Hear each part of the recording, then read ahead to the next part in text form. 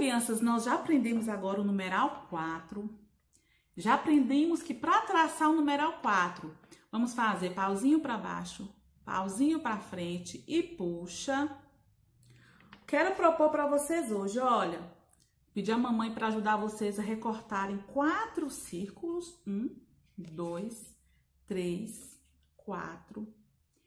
E em cada círculo desse, você vai colocar para mim quatro pregadores de roupa, dessa maneira, ó. Você vai vir aqui e colocar um,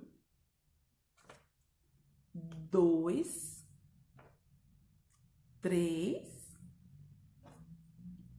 quatro.